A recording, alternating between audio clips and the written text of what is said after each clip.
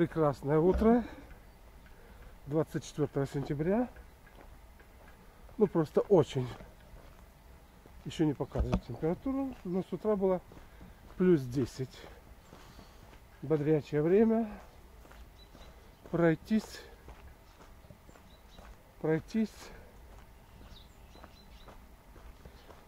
И вот, что касается воли. Хорошо там какое-то усилие проявить вот в течение короткого времени. Ты собрался, делаешь гораздо труднее это сделать в течение определенного времени. Ну, допустим, в течение года регулярно ходить ежедневно на прогулки. Вот тут и начинается. Но что замечено, если вы вошли в ритм, то как-то все пойдет по накатанной. То есть это примерно где-то месячишку надо походить, входите в ритм, встаете, раз, два, три, четыре, пять, сделали и на прогулку.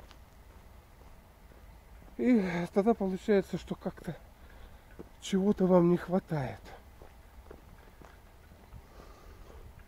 И прогулочку сделали, все, вполне довольны, вполне удовлетворились. Спортивная база. Грибут, грибунки. Ну хорошо, поухаживали за парком вообще. Прощали его, видите. Все куширья убрали. Сделали тут футбольное поле.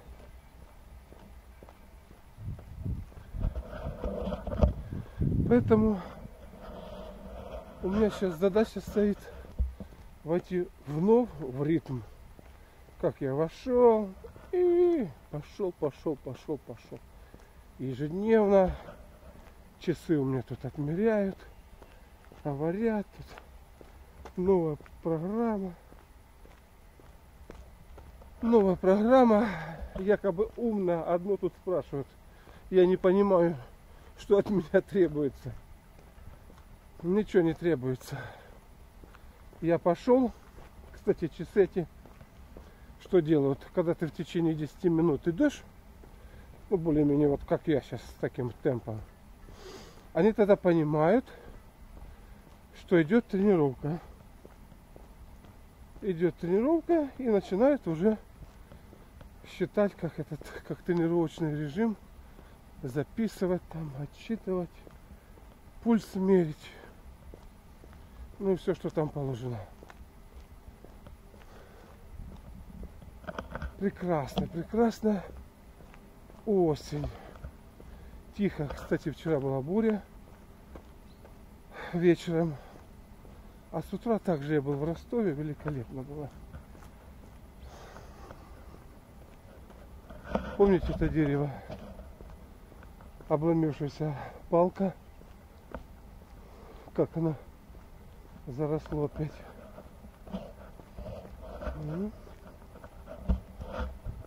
Вот так мы и пройдемся. Красота. Осеннее небо. Равноденствие окончилось. И теперь темное время суток будет все больше и больше. Приятно посидеть на солнышке, погреться.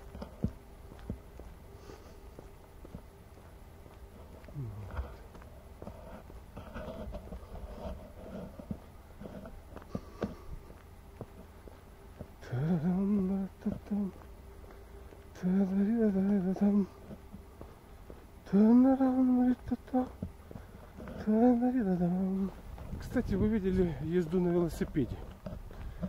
Если взять между тем делать что-либо или нет, велосипед подойдет. Если взять вот заниматься на велосипеде или же ходить, лучше ходьба. Потому что это неестественное положение, крутишь педали, то есть организм работает не так, как надо. Идет в паху пережим, отток крови нарушается, лимфа нарушается, все это там. То есть неестественная вещь. Лучше делать естественные вещи. Простые и естественные которые запрограммированы матушкой природой. О, и здесь как они чистили, смотрите. О, шиповничек ведь созрел. Абрикоска уже плодоносилась. И здесь у нас меньше разного рода зелени. То есть вот в зоопарк взяли, все очистили его, побелили, куширье убрали.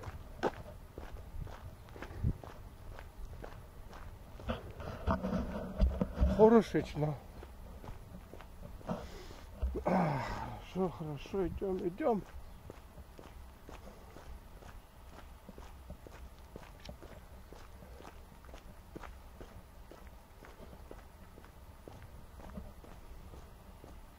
простор какой-то по-новому пространство смотрится. А, солнышко припекает спинку. Отлично. Причем такое ласковое, приятное. Простые вещи. Действуют лучше всего.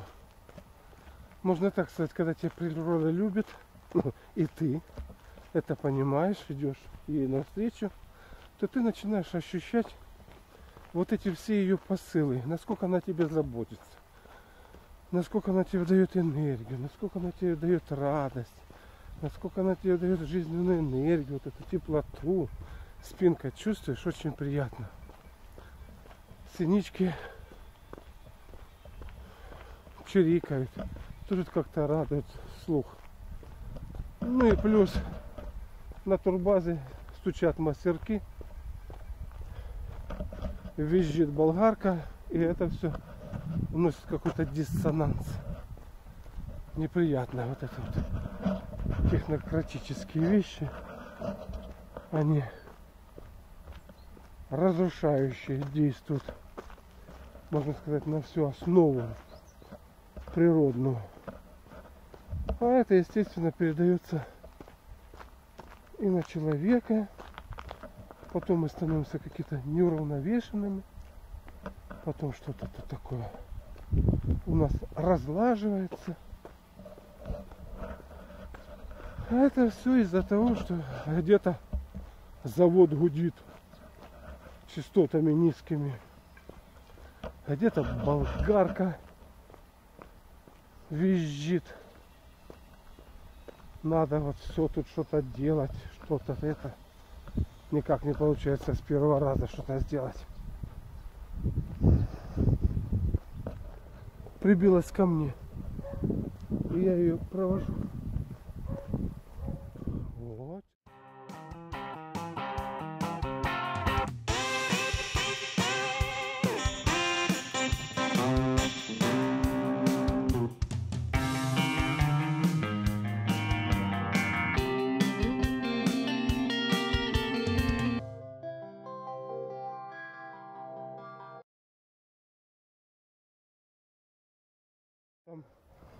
Гарантом спокойствия и мира. На шее виден след от ошейника. Сбежала. Надо... Ага. Надо немножечко, так сказать, уделить внимание природе. На размножение, что, что, как. Но оказывается тут уже все схвачено. Интересное наблюдение. Вы видите, можно так сказать, пенек от дерева. Пенек от дерева, которого съедают грибы. Грибы вошли туда своими мицелиями. И когда они его высосали, строят плодовые тела. Примерно так же действует и онкология. Сначала проникает в организм, разбрасывает нити мицелий, начинает сосать, почему человек так высыхает. А потом образует опухоль, которая уже видно явно. И вот эту опухоль только опачки вырезаем, а естественно мицели, которые во все тело проросли, как были, так и остались. Через некоторое время грибница опять начинает формировать себе тело. То есть вновь растет опухоль, высасывая еще больше все полезное, что было в организме человека. Вот так вот действует онкология. Конечно, видов онкологии огромное количество. Но тут большинство действует так. Наматываю мили на кардан. В который раз замечаешь, как во время ходьбы начинает сбрасываться лишняя вода из организма, которая вызывает там отеки, которая является нагрузкой для сердца. Раз. Проциркулировала, оп, вышла лимфа. Также циркулирует. Ходьба и помогает. Ну, естественно, энергетика, дыхание, кровообращение, все это активируется простым упражнением ходьбой.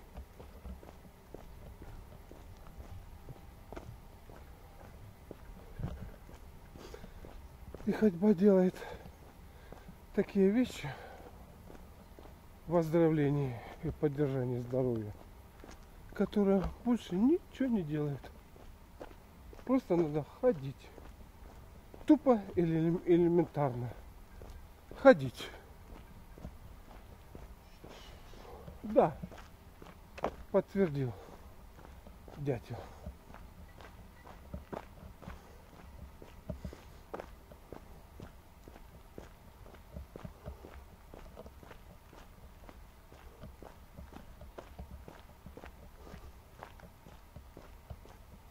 Слушаем природу, наслаждаемся ее светом, теплом, видами.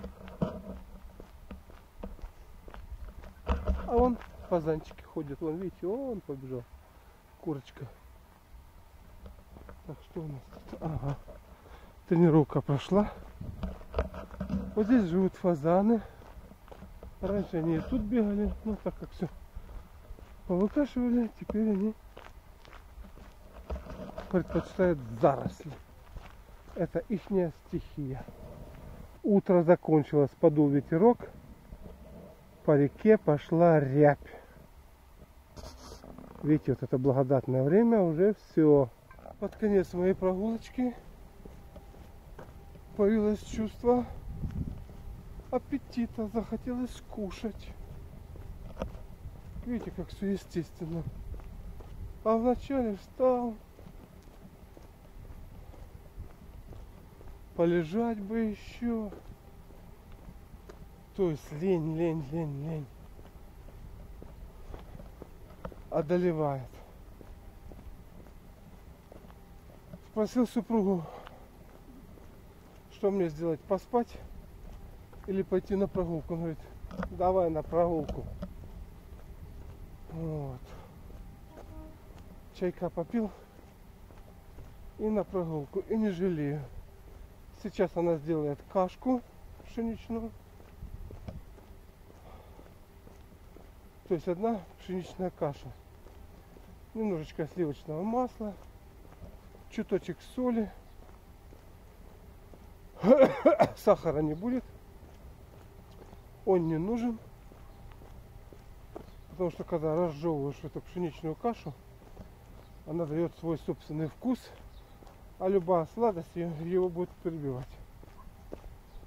Вот и нормально, а то нету аппетита. А чего он появится аппетит? А с чего? Вот это особенно люди, которые страдают диабетом второго типа. А с чего клетки будут усваивать сахар, тянуть его на себя из крови, если они не поработали? Им сахар не нужен. Поэтому вы как съели, так он всосался, в крови болтается.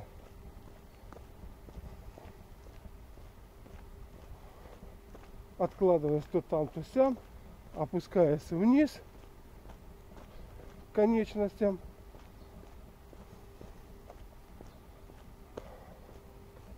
Застаиваясь в, в глазах, вот этом стекловидном теле, вызывая в нем помутнение и прочее, прочее, прочее.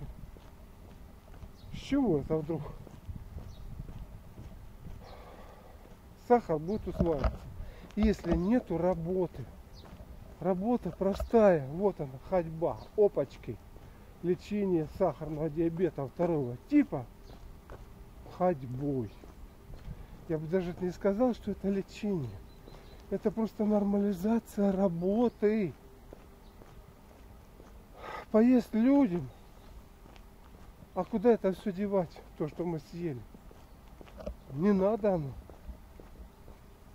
И получается, что этот избыток начинает вызывать соответствующее отклонение, которое классифицируется как сахарный диабет второго типа. Нормализовали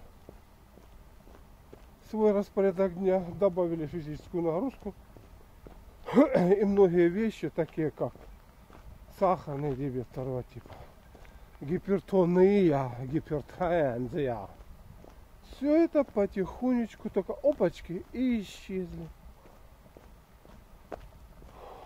Сердечко, как мы его укрепляем? Оно должно биться, оно должно работать. А мы там сидим за компьютером или там еще что-нибудь, телевизор смотрим. Вот какие мысли приходят на прогулке. Естественно, какие-то здоровые, хорошие мысли. А не то, что, что надо там съесть, чтобы тут не было этого, какую таблетку принять, чтобы нормализовать вот это. О! Замечательно, когда говорю, вот после прогулки возникает радость. Радость бытия, радость ощущения жизни, радость того, как все это прекрасно. И как все это можно испохабить и превратить в какую-то каторгу. Ну не будем о грустном.